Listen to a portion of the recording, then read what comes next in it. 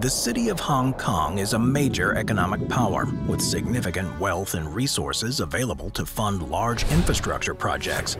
They have access to more resources than any other city in the world, and so construction projects in the city are usually supersized. So let's take a look at 15 incredible mega projects in Hong Kong. Number 15.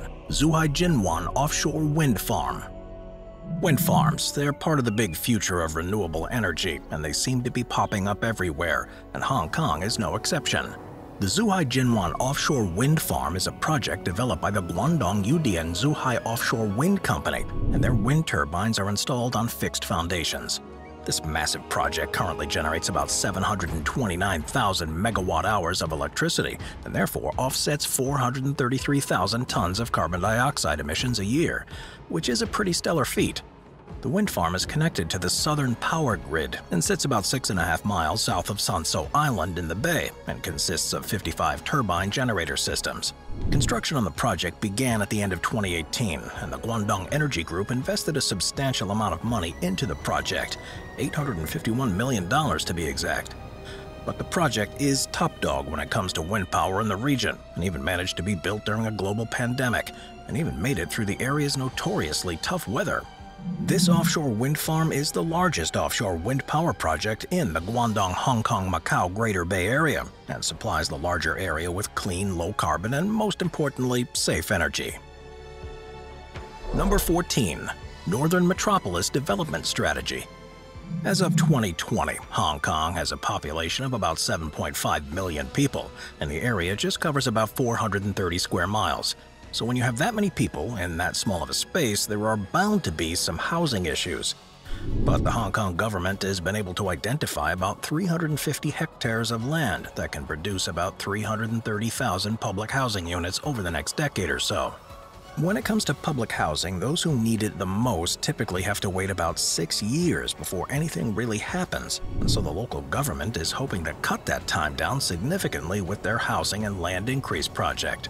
The Northern Metropolis Development Strategy is an incredibly ambitious project, so there are undoubtedly a few hurdles and hoops the government will have to jump through.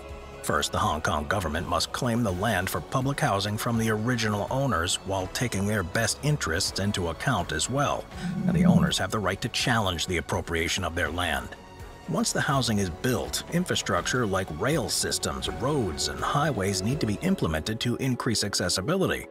But the biggest issue here is money. The government hasn't yet calculated what the Northern Metropolis Development Strategy will cost. But when it comes to building and developing new cities, it can cost about $1 million per future resident. And if Hong Kong is looking to build 330,000 housing units, then they're looking at one big bill. Number 13. Hong Kong Airport Expansion and Modernization during the global pandemic of 2020, Hong Kong was all but cut off from the rest of the world for about two years, causing the Hong Kong International Airport to be all but empty during that time. Now the government looks to implement one of their most expensive mega projects yet in an expansion and modernization. It started with a brand new runway, which cost $18 billion alone, but increased the size of the airport by 50% and added a good 1,600 acres to the airport. But it's not stopping with the new runway, because Hong Kong International Airport looks to build a new entertainment, retail, and commercial complex to the tune of $2.6 billion. The new section is on track to be larger than New York's Grand Central Terminal and is being built by the Hong Kong local New World Development Company. The grand plan is being implemented with the hopes of making Hong Kong even more of an international aviation hub, especially since only half a million passengers have passed through the airport in 2022. It's an incredibly tough and expensive project, but worth it, considering the airport's the first thing travelers are going to pass through when they enter Hong Kong for the first time. Number 12. Lantau Tomorrow Vision One of Dubai's biggest claims to fame is its Palm Islands, a series of man-made islands and one-day tourist destinations. But Hong Kong has thrown its name into the hat of island builders with one of their more recent and hopefully mega projects, Hong Kong is aiming to create the largest artificial island in the world that will come with a $60 billion price tag. The hope of the island isn't just to look cool, but to help solve Hong Kong's growing housing crisis by adding 2,500 acres of artificial land right off the island of Lantau, which is set to be twice the size of the aforementioned Palm Island in Dubai.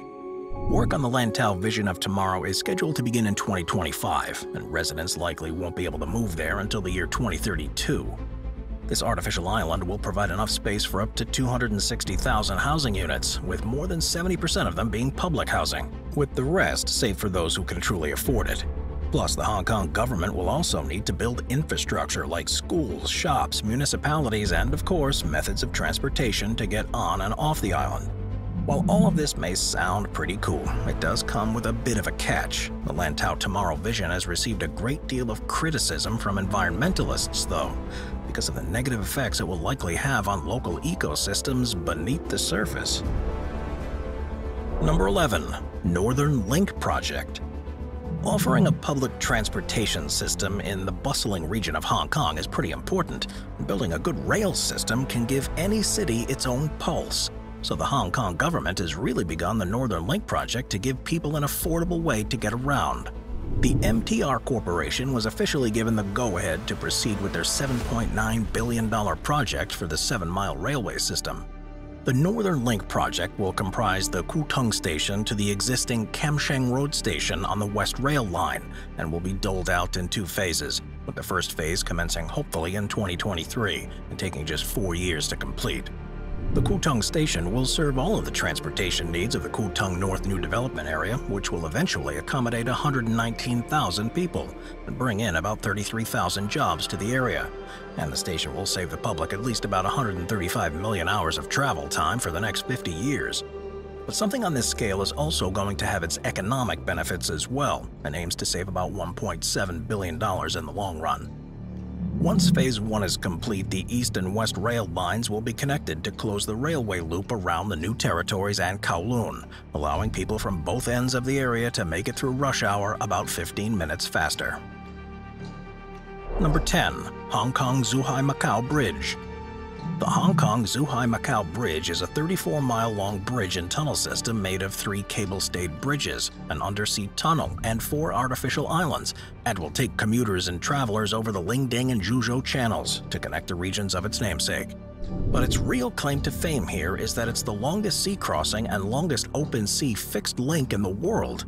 Construction on the bridge began at the end of 2009 and took nine years to complete and ran up a bill of about $18.8 billion US but everyone involved is really getting some bang for their buck because the bridge has been built to last for the next 120 years, meaning four generations can live to use and appreciate it. The bridge was built in sections, and much of it was funded by bank loans and shares amongst governments of China, Hong Kong, and Macau, and the first people to drive over it were journalists and the Chinese leader Xi Jinping, and now sees not only cars but shuttle buses as well. Originally, the trip between any of these three regions took about four hours, but thanks to this bridge, that time has been cut down substantially to just 30 minutes. Well worth it. Number 9. Central Wan Chai Bypass The Central Wan Chai Bypass is one of the most important pieces of infrastructure in Hong Kong today. It's a two and a half mile trunk road that gets folks between the Sheung Wan and Fortress Hill, and officially opened to traffic at the beginning of 2019.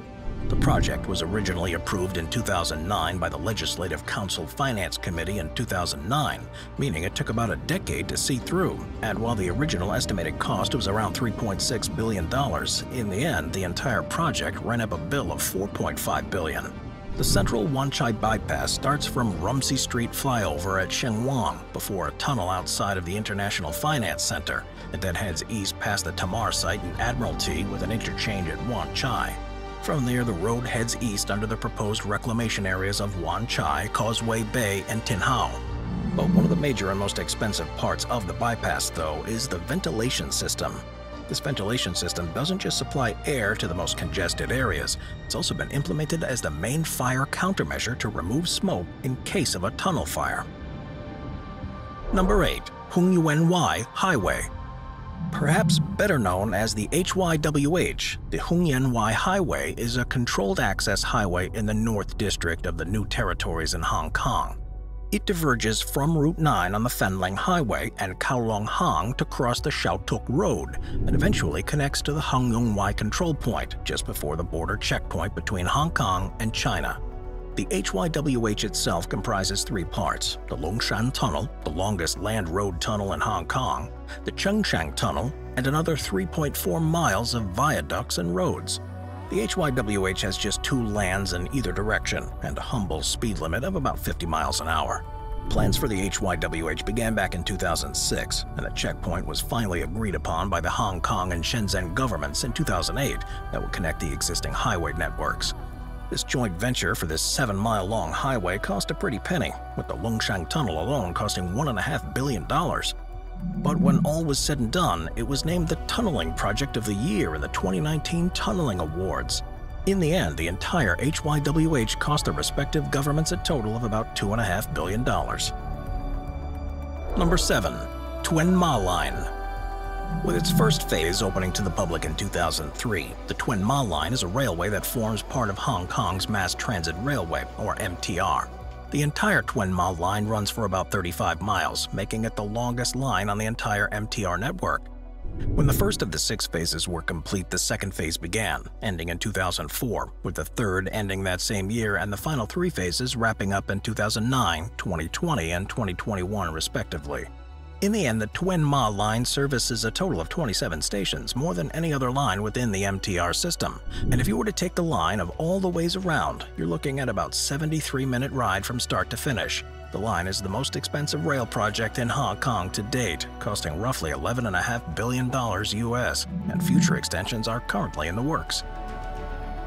Number 6. Kowloon Walled City Okay, the next entry on our list may be one of the most well-known projects, if not the most interesting.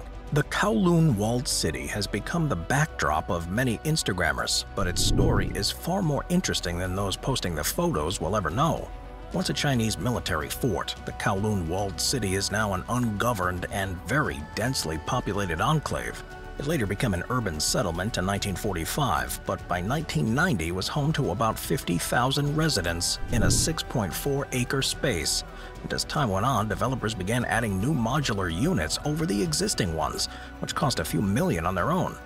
But eventually, the quality of life for many of the walled city's residents would deteriorate, and sanitary conditions in particular became an issue, and so demolitions would eventually begin in 1993. And so too did the compensation of the estimated 33,000 people who called the place home and ran their businesses there. And so a total of $350 million US was paid out. So what was once a somewhat cut-off city, many parts of which never truly saw the light of day, is now a beautiful open space free for all to enjoy.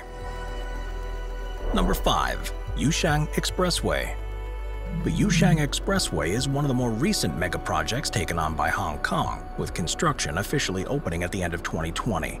The new project is running up a bill so far of about $4 billion and is about 7 miles long with two tunnels, including the Longshan Tunnel, which is the longest road tunnel in Hong Kong. The Yushang Expressway is one of the core works of the Liantang Heung Yuen Wai Control Point project, which is included in the Hong Kong and Macau chapter of China's 12th five-year plan. The purpose of this high-speed border crossing is to strengthen Hong Kong's connectivity within the Greater Bay Area and will not only link Hong Kong to Macau, but also to the nine mainland cities, including the Guangdong province, to form a hub of commerce, innovation, and technology.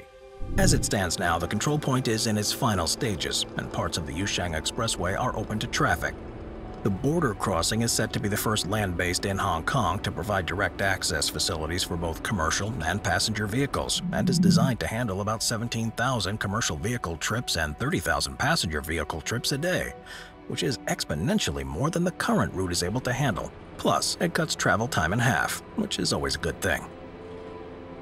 Number 4. Sha Tin to Central Link the Sha Tin to Central Link is an incredibly important extension of the MTR Rapid Transit network that we covered earlier. The link is divided into two sections, the Phase 1 Tuen Ma line, which runs from Tai Wai Station to the New Territories over to Hung Hom Station in Kowloon. The Tai Wai Hung Hom segment of the link contains the Ma On Shan line to the West Rail line from the Tuen Ma line.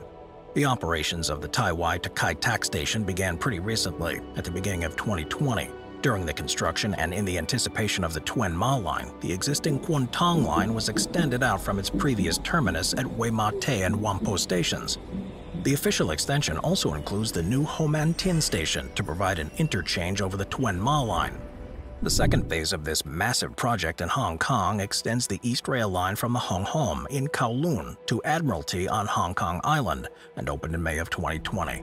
But what makes the Sha Tin to Central Link so interesting is that plans were laid down in the 1960s because it roughly follows the scheme of the original East Kowloon line, which was proposed but never constructed.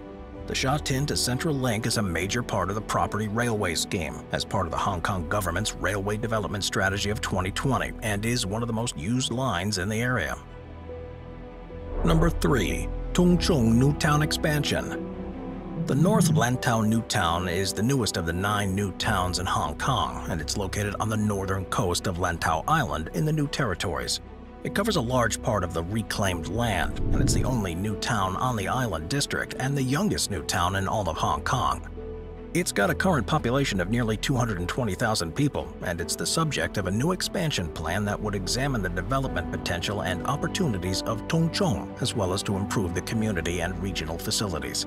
The new town is getting an upgrade and a facelift to somehow make it even newer. The Tung Chung New Town expansion involves a three-stage public engagement exercise that was launched by the Planning, Civil Engineering, and Development departments, and the hard plans were officially drafted in 2017.